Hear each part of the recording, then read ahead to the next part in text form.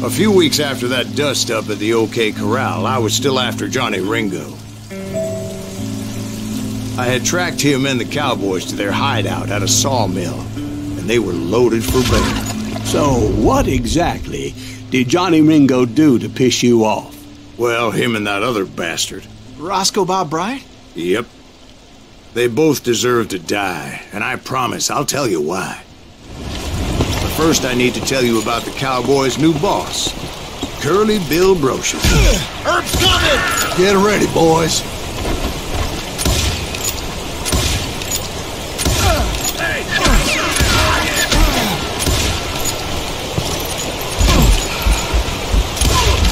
Curly Bill took charge of the Cowboys upon the old man's demise. And after that gunfight at the OK Corral, the Clantons wanted revenge.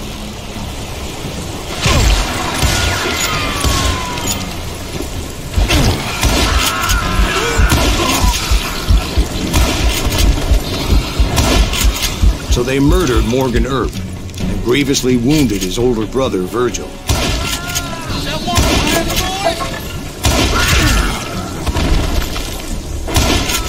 Wyatt and Doc went on what became known as the Vendetta Ride, hunting those outlaws down.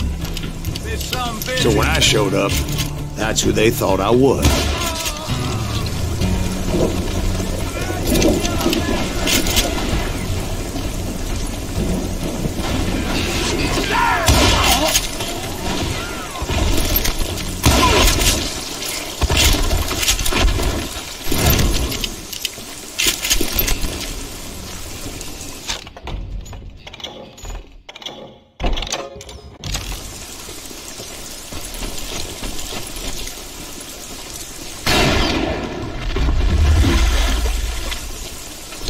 There were killers around every corner, all wearing red bandanas. That's how the cowboys identified each other. And I was beginning to wish I had one myself. But I wasn't about to let Ringo walk away unscathed. And that's what drove me forward. They say that Ringo was infernally fast. I hardly saw anyone faster, boy. Certainly not Wyatt Earp. That man was all hat and no cap.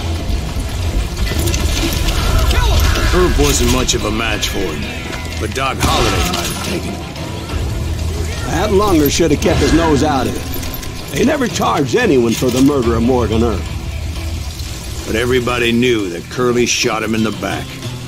That was common knowledge. Well, maybe so. But Ringo had nothing to do with it. He was just being loyal to a friend. Is that what you call it? Being loyal.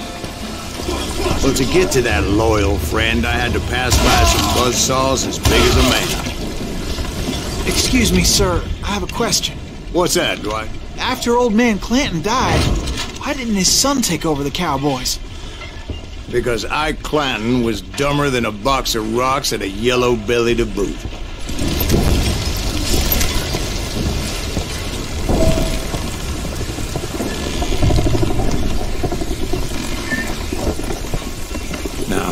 Where was I?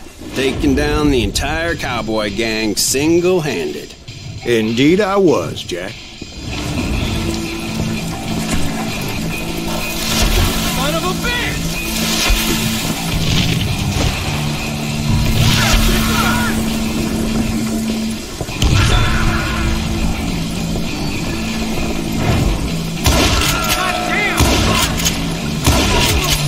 Wasn't easy, those boys had good cover.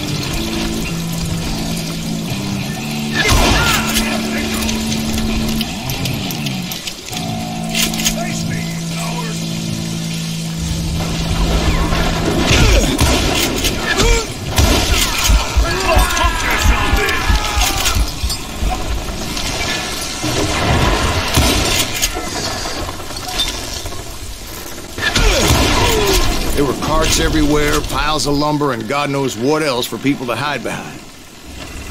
That really was one hell of a sawmill. Quite an impressive operation.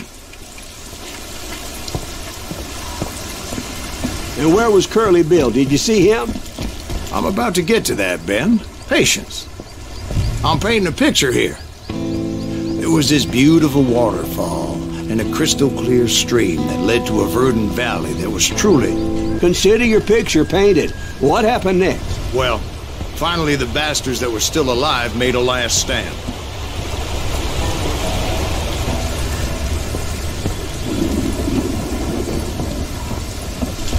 Curly Bill, Johnny Ringo, and his compadres took off into the lumber yard, and I followed after.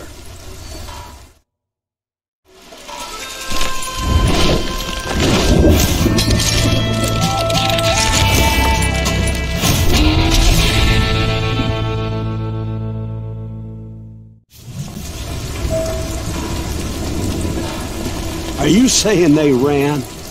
Cowardice was not in Ringo nor Curly Bill's nature. No, sir. I never said they were running scared. They just wanted me in the open.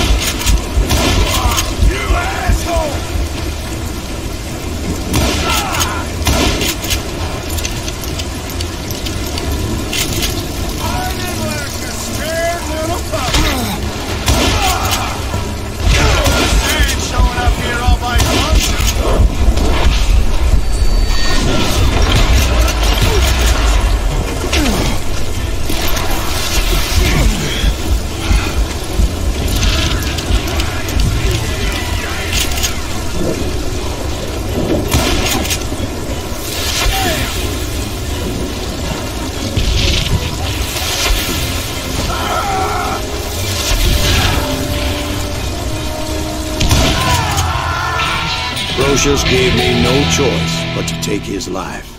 But Ringo was nowhere to be found. I knew you didn't kill Ringo, because he was found dead in a different location altogether. To this day, his killer is still unknown. Indeed. Took me a few months before I finally tracked his ass to West Turkey Creek Canyon.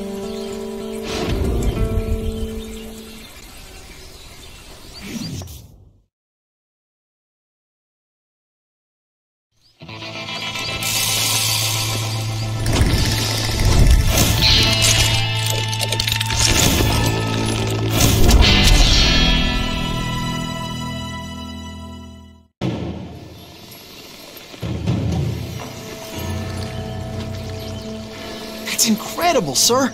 I always thought that Doc Holliday was the one that killed him.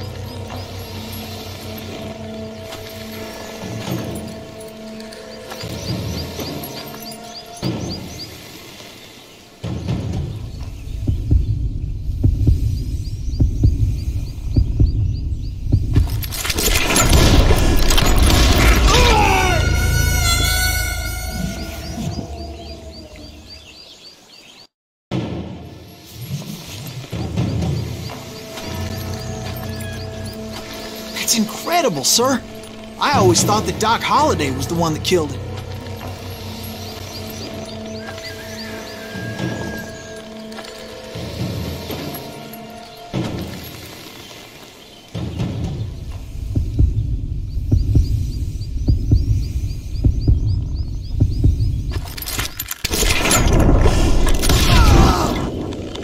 Sorry I had to ruin the legend for you, boy. But the legend ain't always true. Doc Holliday had nothing to do with the death of Johnny Ringo.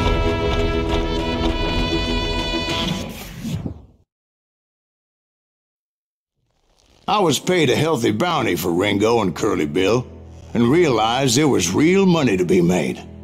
That's why I went after Henry Plummer.